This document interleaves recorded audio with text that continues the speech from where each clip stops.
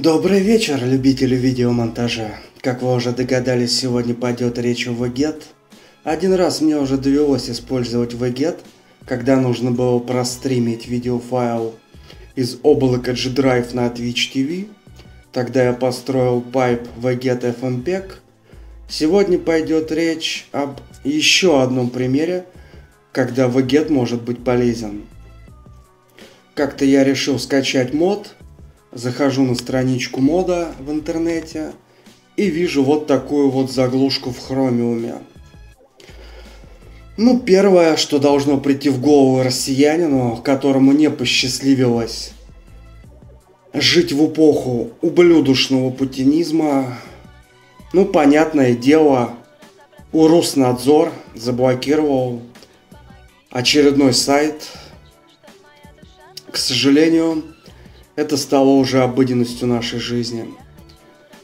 Давайте убедимся в том, что провайдер не блокирует нам доступ к сайту. Для этого можно воспользоваться командами Windows Ping или TracerT. Ну, команду Ping все знают. Давайте воспользуемся командой TracerT.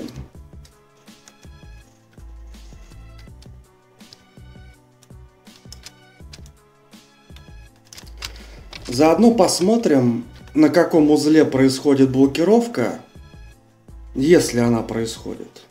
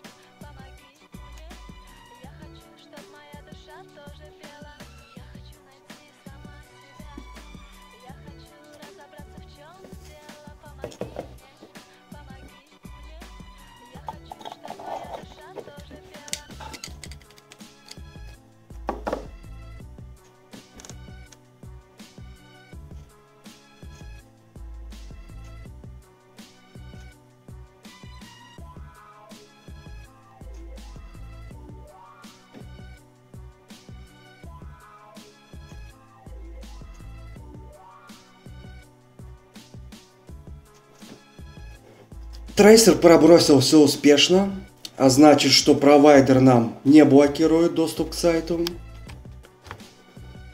О чем же нам сообщает сама заглушка в Chromium? Она сообщает нам о том, что сайт mu.com очень опасен. Он ворует ваши пароли и сообщения, а также номера банковских карт. Но ну, нас этим не испугаешь. У нас стоит утилита VirusTotal. Давайте убедимся с помощью утилиты VirusTotal, что сайт mu.com не является опасным.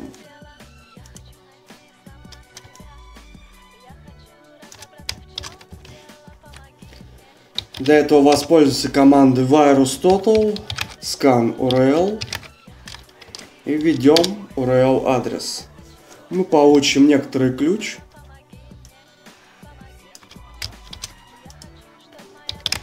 Затем мы пишем virus total analysis.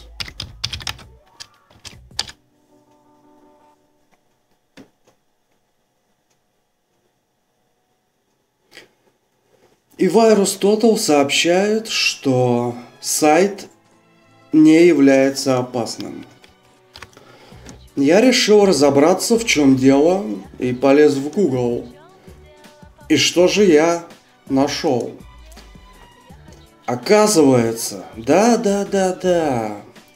Оказывается, это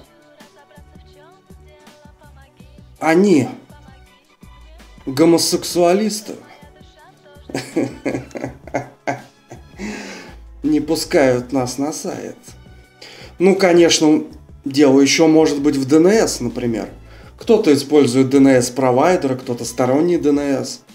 Я использую сторонний DNS от AdGuard, но я априори знаю, что дело не в DNS. Еще может быть дело в куки-файлах и в кэше браузера, но я априори знаю, что дело не в куки-файлах и не в кэше браузера. Также, конечно, нельзя исключить, что сам сайт функционирует неправильно. Но я априори знаю, что сайт функционирует правильно. А следовательно, методом исключения мы поняли, что именно браузер, то есть прослойка между клиентом и сервером, блокирует нам доступ к сайту. И вот здесь мне захотелось спросить вот этого самого гомосексуалиста, который сделал эту заглушку для хромиума, а немного ли ты на себя взял?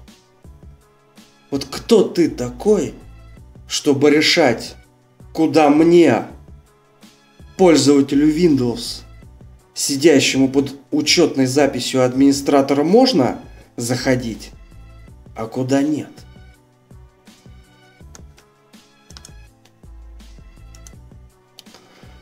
Нажимаем подробности и переходим на сайт mu.com. Сам браузер сообщает нам о том, что у сайта просрочен сертификат, и поэтому он такой опасный. И мне вдруг захотелось спросить вот у этого гомосексуалиста, а вот сайт Google App Store, где прямо в это время, когда я записываю видео, лежит ну минимум десяток приложений, содержащих вредоносный код, которые без дураков воруют ваши пароли, номера банковских карт. Вот почему на него можно зайти, а на безопасный сайт mu.com зайти нельзя. Ну хорошо. Методом исключения мы поняли, что дело в браузере и дело в просроченном сертификате. Это немаловажно. Это мы запомним, нам это понадобится в дальнейшем. Теперь, допустим, я хочу скачать какой-нибудь файл с сайта.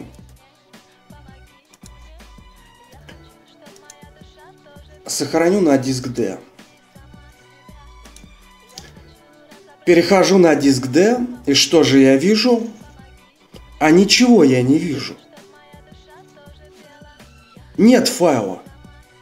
Ну, тут я подумал о том, что, наверное, я мискликнул просто. Ну, такое часто бывает, мискликнешь или сохранишь не в ту папку. Решил вернуться и сохранить заново.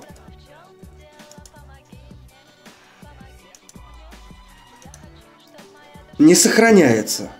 Мне стало интересно. Захожу в подробности. И что же я вижу? Вот этот самый гомосексуалист, он не только мне запрещает переходить на сайт, он также запрещает мне скачивать. И вот тут-то меня что-то пробило. Вот я не хочу разбираться.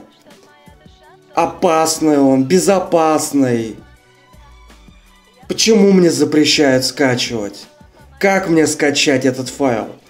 Я не люблю пердолинг. В отличие от вот этого самого гомосексуалиста в гугле, который их там поддерживает. Я не хочу тратить свое время, которое я провожу за компьютером. Поэтому я выбираю VGET. Мы идем на GitHub.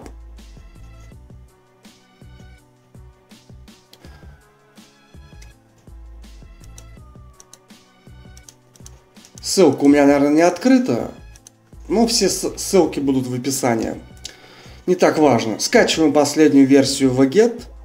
Далее заходим, читаем документацию – читаем документацию к config файлу. Config файл для VGET не обязательная вещь. Тем более, в отличие от FMPEG там и YouTube DLP, э, в config файл VGET нельзя положить все конф- параметры конфигурации VGET при запуске. Он весьма ограничен. Но если вы часто используете одни и те же параметры, имеет смысл создать конфигурационный файл. Создается он в любом текстовом редакторе. Убедитесь, что кодировка страницы UTF-8. Мой конфиг файл выглядит следующим образом. Я указал user агент. Я не уверен, что эта настройка используется. И также я указал директорию, куда будут скачиваться файлы по умолчанию. Итак, мы выяснили, что дело в просроченном сертификате. В GET есть специальный ключ для того, чтобы отключить проверку сертификатов. Поэтому наша команда для vget будет выглядеть следующим образом. vget no check сертификат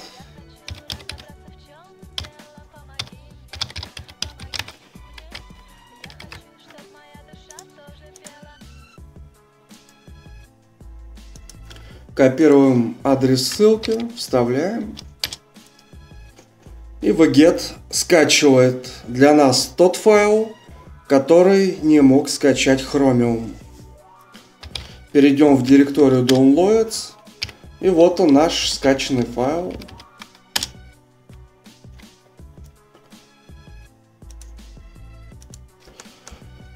Надеюсь, видео было для вас полезным. Увидимся!